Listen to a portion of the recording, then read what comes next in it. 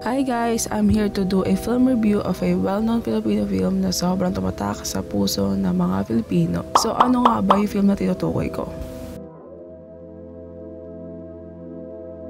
Ang Anak or My Child sa English ay isang Filipino film na produced ng Star Cinema. Nilabas siya noong 2000 and pinagbibidaan ito nila Vilma Santos as Josie, the OFW mother, si Claudine Barreto as Carla, the rebel child, si Baron Geiser as Michael, the middle introvert child, and also other stars such as Amy Austria, Cherry Pie Picache, and Joel Torre.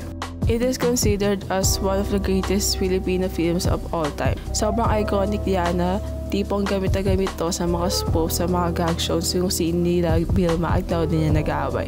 So ano ba meron sa anak na sobrang tumatak talaga sa puso at kaluluwa ng mga nakapanood like me? Let's see it on different aspects.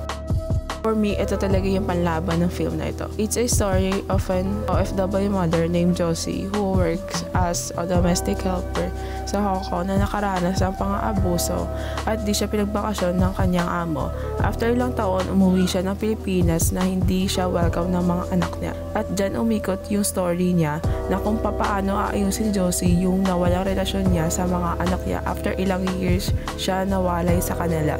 Yung story niya, it highlights different themes such as the life of overseas Filipino workers and their sacrifices. Poverty is the main reasons of overseas working and yung unconditional love, optimism, and forgiveness, and yung double standard of being a woman OFW. Yung mga themes na yon, yun yung nagpaganda talaga sa team. Gawa na maganda din yung pagkakadeliver ng mga yun. They also use flashbacks sa story which really helps the main character to have their backstory. Like the story of Carla on how she resent for her mother's arrival and what kind of person she is. For the cinematography, I think it's a good one. Napansin ko talaga dito yung paggamit ng close-up shots and medium shots, especially sa mga scene na may heavy drama and tension, which enhance the whole scene na makikita talaga yung pag-iyak nila, paano sila magalit, and other things. They use establishing shots which gives more background to sa character, like what their lives look like. Also, they've done a good lighting sa mga madilim and indoor scenes.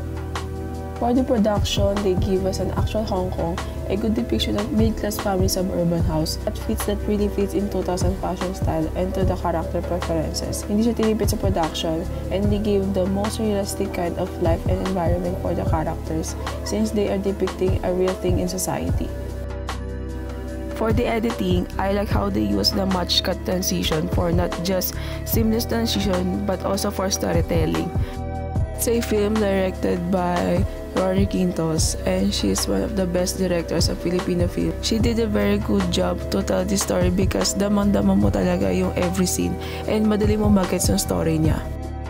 For the inclusion, it's a good film and sobrang nakaka-relate siya kahit sino ka man sa panahon kapag galing as they show yung viewpoint na pagiging magulang at pagiging anak and ako ay isang anak actors and actresses done a good job. Hindi boring yung mga scenes. Good, continuous, gradually intensifying story flow. Sobrang daming moral lessons sa buhay.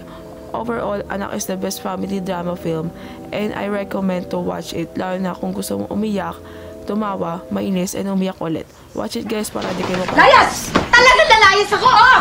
Tuluyan mo sirain ang buhay mo!